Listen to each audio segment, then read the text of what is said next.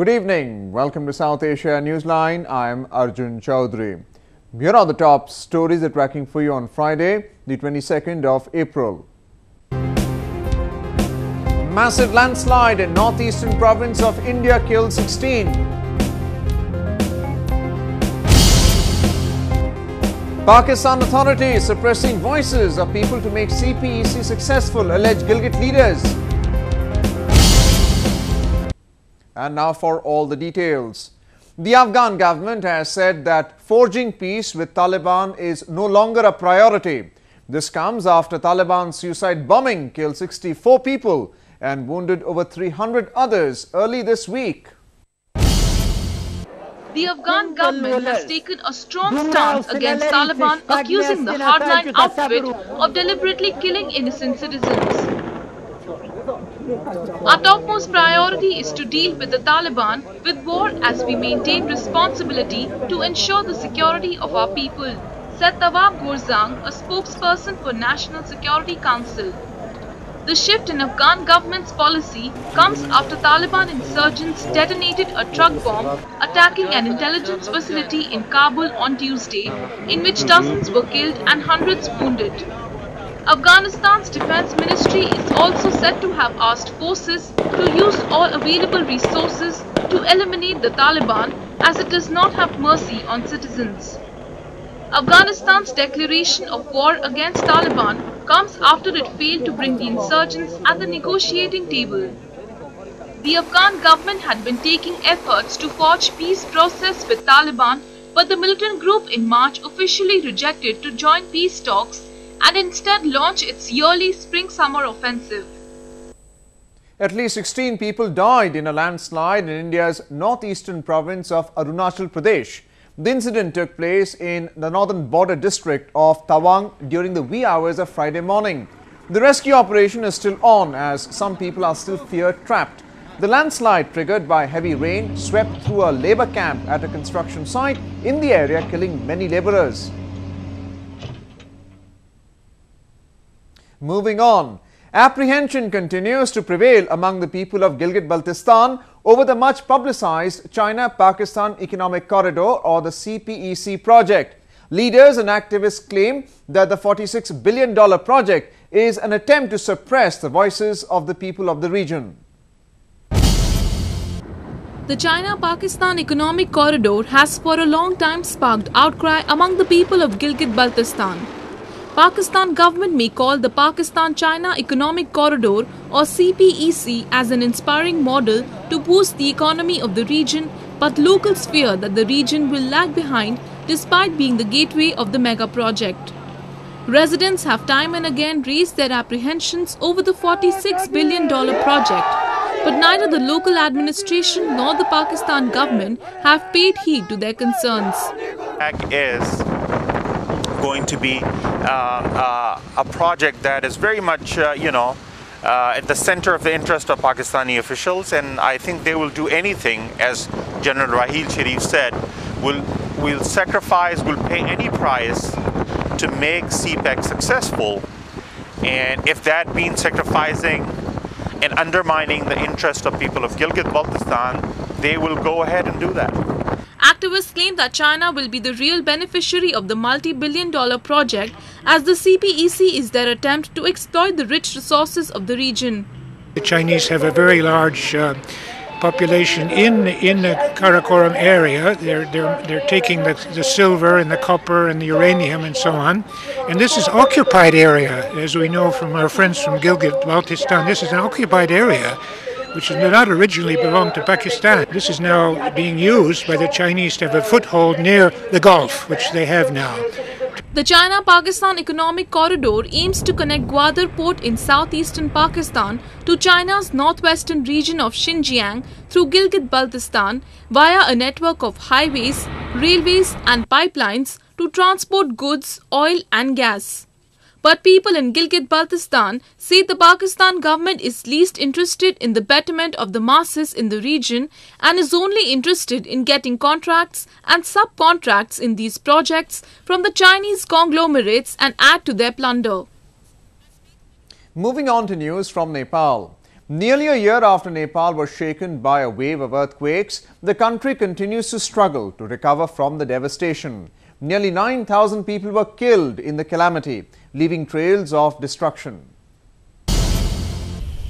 It has been almost a year, but Nepal is still reeling from the disaster that killed more than 8,600 people and left thousands injured and homeless. Tens of thousands of survivors continue to live in makeshift tents and huts made from tin sheets and tarpaulin, waiting for their homes to be rebuilt. It was just last week that the government began distributing aid fund to victims. Out of millions, only 641 families have received around 471 US dollars as the first installment of the reconstruction aid out of a promised 1885 US dollars. Anger and frustration has been brewing among the people against the government as many wait for assistance to rebuild their lives. Some of the survivors are still haunted by memories of seeing their homes crumbling in front of their eyes and by remembering the loved ones they have lost in the tragedy. आखिरी कान्छी बुहारीलाई किचिराखेको छ दराले त्यहाँदेखिको सामानहरू पनि हाम्रो सबै किचकाच भयो अनि त्यहाँबाट नातिलाई किचिराखेको रहेछ खाना खुवाउँदाखेरि अनि त्यहाँदेखि लिएर घरमा आयौँ उहाँ यो चौरमा निक्लेका त्यहाँदेखि बसेको पनि छैनौँ पालमा बस्यौँ the earthquakes, which occurred on April and May 2015, have gravely affected the tourism industry of the Himalayan nation, which once was Nepal's key foreign exchange earner. Its World Heritage sites, as well as mountaineering and trekking industries, are yet to bounce back from the double blow.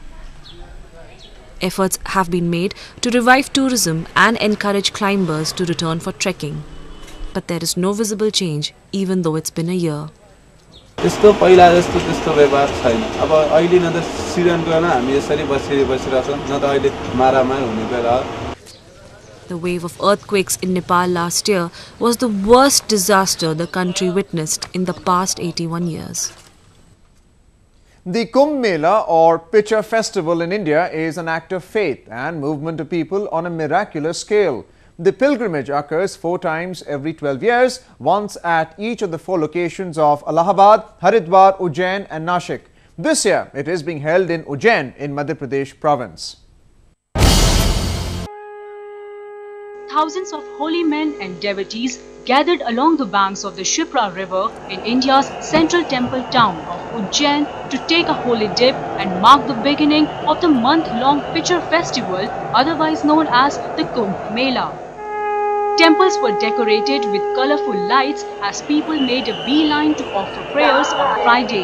This is one of the four Kumbh Melas celebrated as the largest spiritual gathering on planet Earth. Simhastha बहुत महत्वपूर्ण इसलिए है कि कुंभ की अपनी महिमा है ऋषि मुनि हिमालय से पधारते हैं और इस विशेष मुहूर्त का अनंत गुना लाभ मिलता है और जिस तरह से प्रकृति बदल रही है तो सिंहस्थ का लाभ पूरी दुनिया को मिलेगा एकता समता बढ़ेगी और लोग सब तरह से देवी शक्तियों से भरपूर होंगे ऐसी हम आशा करते हैं Devotees believe that by taking a dip in the sacred rivers, they cleanse themselves of sin and liberate themselves from the cycle of life, death and rebirth.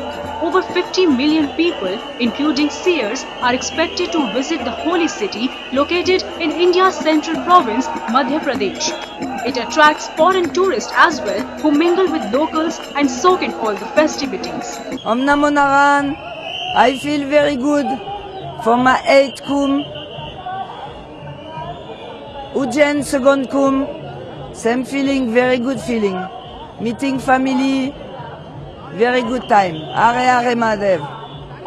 The festival is celebrated once every 12 years at each of four different Indian cities Ujjain, Nasik, Haridwar, and Allahabad, where Hindus gather in thousands to bathe in holy rivers.